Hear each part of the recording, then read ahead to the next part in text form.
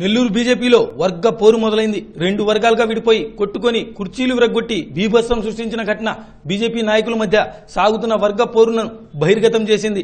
BJP దళిత Morcha rally సమావేశం బీజేపీలో రెండు వర్గాల మధ్య ఘర్షణకు వేదికగా మారింది.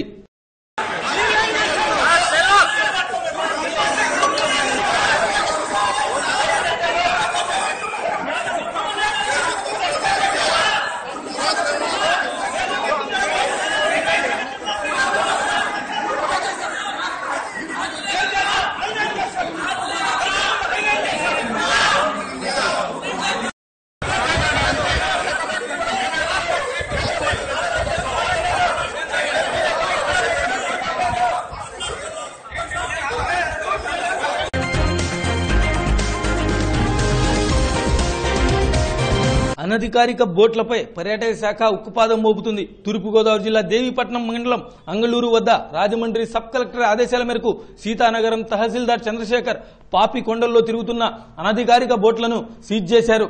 విషయం తెలుసుకున్న మీడియా ప్రతినిధులు దాని చిత్రీకరణ కోసం వెళ్తే మీడియా ప్రతినిధులపై చిందు లేచారు రెవెన్యూ అధికారులు.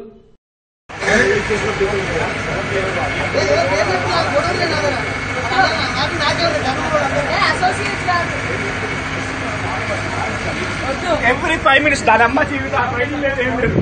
ఒక పక్క కాఫ్ పక్క ఏమో టాబ్లెట్ ఒక పక్క ఏమో కాఫీలు ఒక పక్క ఏమో వాటర్ బాటిల్